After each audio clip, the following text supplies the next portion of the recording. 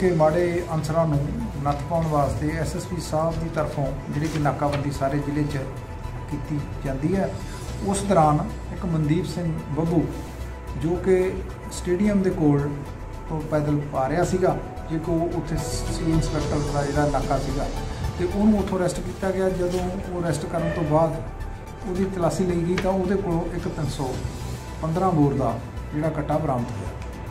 ਉਸ ਤੋਂ ਬਾਅਦ ਉਹਦੀ ਉਹ ਕੱਟਾ ਬਰਾਮਦ ਹੋਣ ਤੋਂ ਬਾਅਦ ਜਿਹੜਾ ਕਿ ਉਸ ਤੇ ਮੁਕੱਦਮਾ ਦਰਜ ਕੀਤਾ ਗਿਆ, ਉਸ ਤੋਂ ਬਾਅਦ ਉਹਦੀ ਪੁੱਛਗਿੱਛ ਦੌਰਾਨ ਫਿਰ ਉਹਦੀ ਮੋਟਰ ਦੇ ਉੱਪਰੋਂ ਇੱਕ ਹੋਰ ਜਿਹੜਾ ਕਿ 315 ਬੋਰ ਦਾ ਕੱਟਾ, ਇੱਕ ਜਿੰਦਾ ਰੌਂਦ ਬਰਾਮਦ ਕੀਤਾ ਗਿਆ, ਜਿਹੜੇ ਕਿ ਟੋਟਲ ਇਹਦੇ ਕੋਲੋਂ ਦੋ 315 ਬੋਰ ਦੇ ਕੱਟੇ ਤੇ ਇੱਕ ਜਿੰਦਾ ਕਾ- ਉਹ ਕਾਰਤੂਸ ਬਰਾਮਦ ਕੀਤਾ ਗਿਆ ਅਤੇ ਇਹ ਜਿਹੜਾ ਬੰਦਾ ਇਹਦੇ ਪਹਿਲਾਂ ਵੀ ਪੰਜ ਮੁਕੱਦਮੇ ਦਰਜ ਨੇ, ਕ੍ਰਿਮੀਨਲ ਟਾਈਪ ਦਾ ਇਹ ਬੰਦਾ ਤੇ ਬਾਕੀ ਜਿਹੜੇ ਹੋਰ ਮੁਕੱਦਮੇ ਨੇ ਉਹਨਾਂ 'ਚ ਵੀ ਅਜੇ ਇਹਦੀ ਕੁਝ ਮੁਕੱਦਮਿਆਂ 'ਚ ਤਾਂ ਅਰੈਸਟ ਪਈ ਹੈ ਕੁਝ 'ਚ ਹੋਰ ਪੈਣੀ ਬਾਕੀ ਆ।